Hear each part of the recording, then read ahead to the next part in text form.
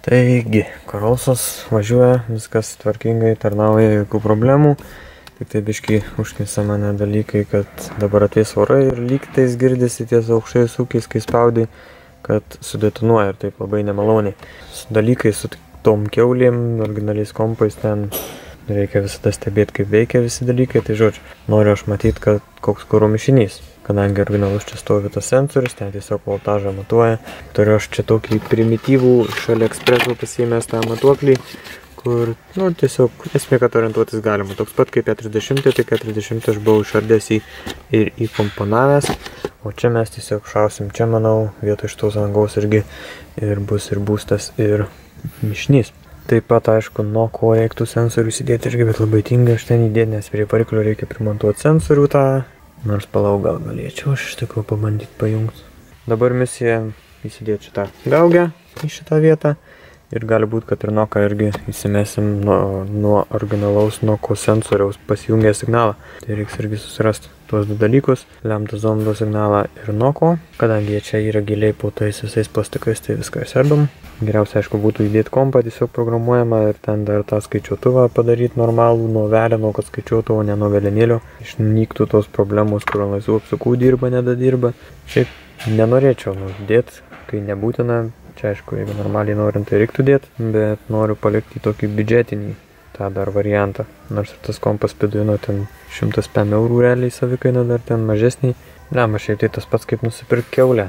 Tokia pati kaina. Tai Jeigu kas dvėjoja tardyti keulę ar spiduino, tarkim, tai dėkit spiduino. Daugiau dalykų reiks susitapinimui, bet veiks žymiai geriau dalykas. Viskas veikia, šitą dar pritemdėm, nors per kamerą vis tiek spigina, bet dabar jau, žodžiu, galima bus gyventi. Nuo ko laidus irgi išsivedžiau iš sensoriaus, bet kadangi jie eina kartu ir į originalų kompą, kas nėra blogai, nes ten irgi, jeigu nokina, tai turėtų degimą pavėlinti. Tai pajungus indikatorių aš nesu tikras, ar indikatorius kažko tai nemodifikuoja signalo, e, kuris eina į kompą, tai neaišku, kaip ten kompas tada reaguos. Tai už tai tiesiog klaidus įsivedžiau ir pasibandysiu.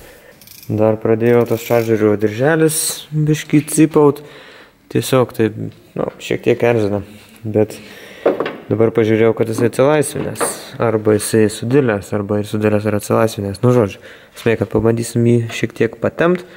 Tada dar tas mano guoliukas čia įtempiau, kurį dėjau. Pastebėjau, kad jisai bišky laisvumo turi. Ir čia nieko nuostabaus, nes jisai bišky tokias įdomias apkrovas turbūt gauna. Dar koks dalykas pagalvojau, reiks pabandyti galbūt uh, elastinį dirželį uždėti. Tai reiškia, bei tempėjo, tiesiog jisai elastinis šiek tiek tamposi ir užsideda per jėgą tiesiog atkris ten įtempėjo klausimas. Ir nežinau, galbūt veiks labai fainai. Klausimas tik tai, kaip jį seksis uždėti, nes jisai, nu, ta prasme, turi užsitemti, o čia yra aukštas kantas. Ir ši čia aukštas ir ten yra dar aukštesnis, tai žodžiu, bet kažkaip gal pavyks. Taip, turime Korolsą, kuriam baigėsi technikinė už lygiai mėnesių. Reikia kažkaip pravaryti, kadangi čia yra chargeris įgrūstas ir, žodžiu, kiti modukai. Nemanau, kad čia praeisim ir neverta net bandyti, nes dar paskui kažkokių kitokių dalykų pamatys ten, kur irgi prirašys ir panašiai, kurie ten yra reikšmingi. Nerizikuosim ir išimsim chargerį. Čia išimti nėra ką veikti realiai, tai tuo yra geriau negu turbo. Išsims chargeris, išsims vamzdynas, interkulerį irgi išimsim, aišku, nes jisai čia net neprisuktas. Tai, tai tada įmesim originalią filtradėžę ir plius minus viskas. Čia užglušint porą reiks dalykų.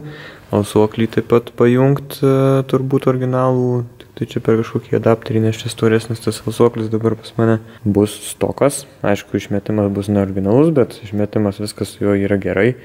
Tai blogiausiu atveju galim nepraeiti dėl garso, o jeigu dėl garso nepraeisim, tai tada tiesiog, kadangi bakelis pas mane galė nusėma, tai galbūt užmesim tiesiog technikinį šitą bakelį kuris, nu žodžiu, prieš tai, kur buvo išmetimas. O realiai daugiau tai neturi prie ko jie prisikabinti. Nu, ta prasme, viskas čia yra tvarkinga, čia tokie parūdėjimai, tai dar tikrai, manau, turi eiti. Dugne irgi, kiek atsimenu, viskas ok, važiuoklę sutvarkėm. Tai dar aišku persitikrinsim kažką tai ten, bet šiaip jo, žurnalės tvarkingos, lempos visos veikia, viskas šviečia. Realiai galiu įtart, kad praeisim labai tvarkingai tą technikinę. Dėl radiatoriaus tai tikrai nesikabins, nes ką čia gali kabintis tiesiog Čia įdėtas toks, buvo platesnis, bet nieks čia nežino, nei kam jį rūpi, nei ką keičia.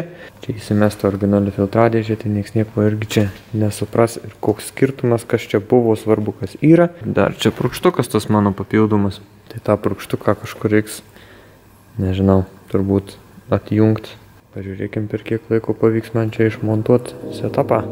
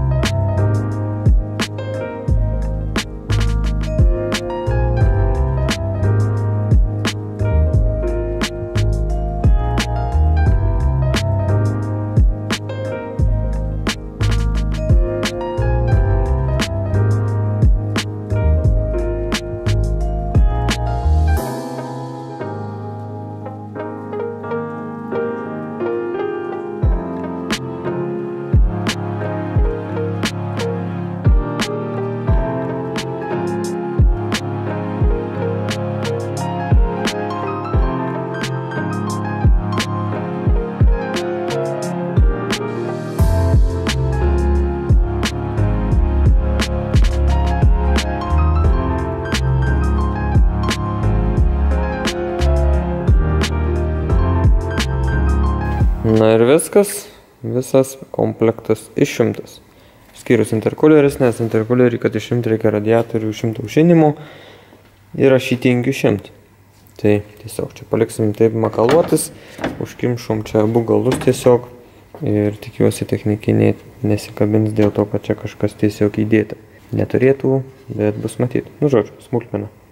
Čia vietos atsirado belekiek, tai čia reiks dėžę įdėti dar filtro temperatūrinį daviklį įsuk, nes čia kitokį daviklį pakeičiau, tai tą kitokį daviklį tiesiog ten įsuksim plasmasę ir viskas, manau. Ir šitą dar reikia pašalinti. Iškutę dar purkštelsim kokio antikorozinio, kad laukia stovint žinai nesusikoroduotų. Šitas pimpikas labai smagiai susijungia čia su adapcinė šlangutė. O šitą tai tiesiog čia buvo užglašinęs. Tai tiek čia tų reikalų atrodo. Dar šitą užčiuką reikia prisukti gal stipriau, kad nepasimestų. Ir galėsim kitam sezonui vėl susidėti. Pavarysim čia tą technikinę, manau, laisvai. Tai dar du metus galim bus drož, bet nežinau. O gal turit kažką galų varomo benzininio pasiūlyti keisti norėtumėte korolsą. Pavarysim technikinę, sudėsim superchargerio kitą, supranti, nes visai norėčiau persėsti į galą varomą. Taigi keitimo variantai gali būti pasiūlyti. Su iš vienos ar iš kitos pusės priemoka, čia aišku labai išroto šiaip nenorėčiau. Žodžiu, tiesiog čia idėja, ką tik šovus į galvą, tai išsakiau.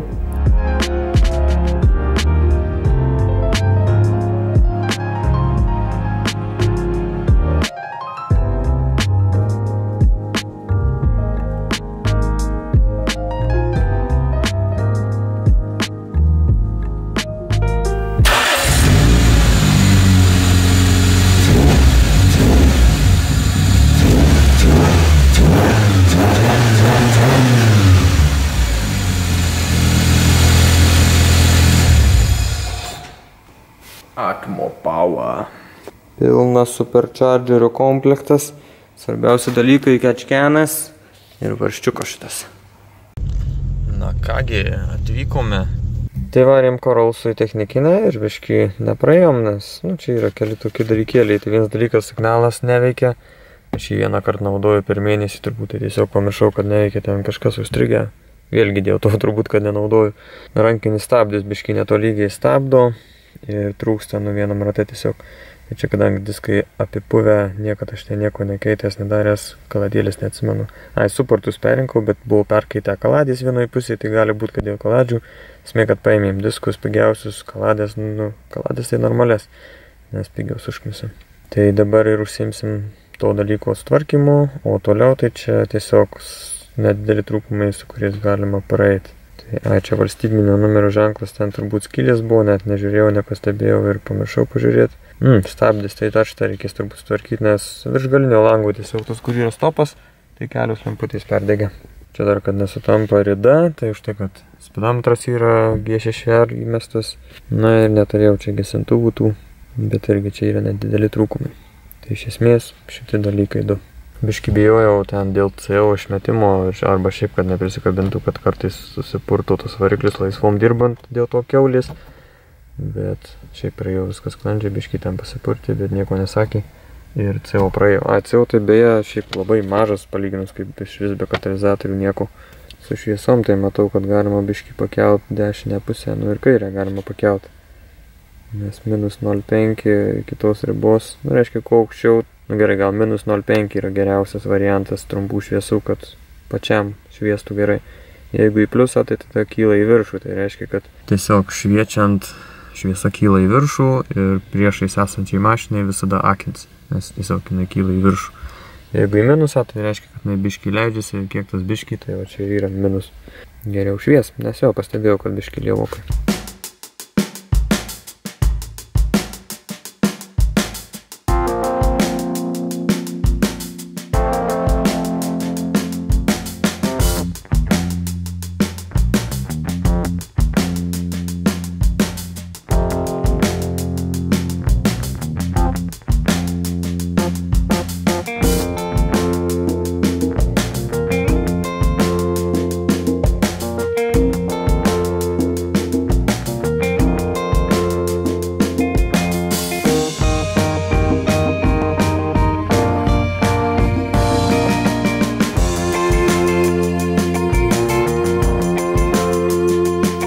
Stabdžiai pakeisti. Tai reiks pasivažinėti dar kokią savaitę, kad normaliai prisitrimtų.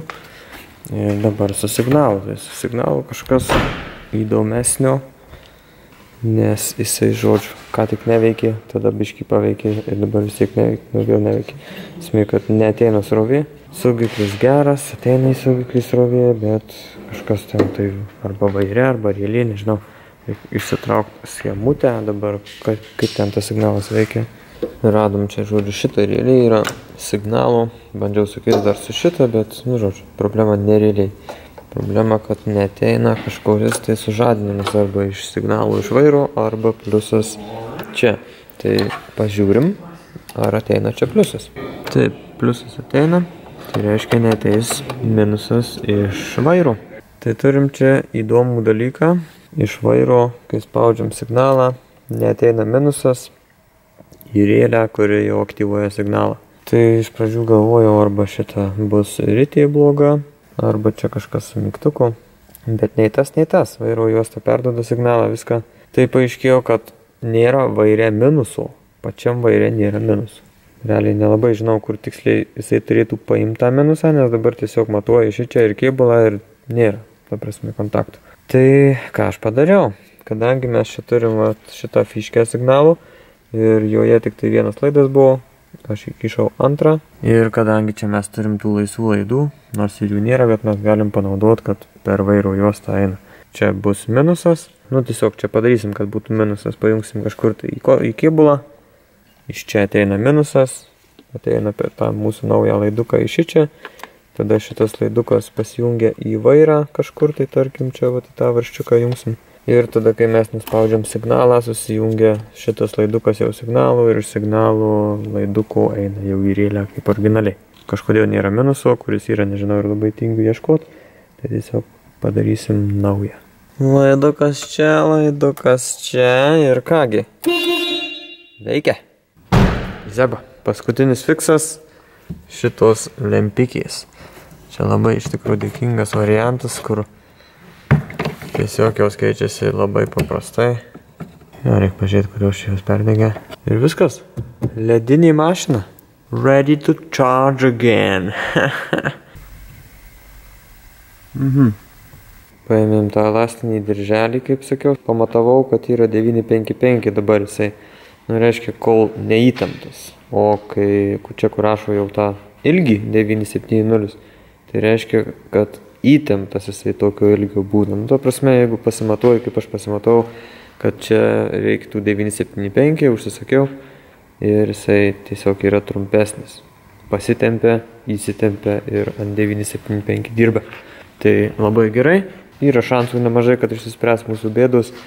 Tai ir įtempėjo nereikia nieko, viskas paprasčiau biškai.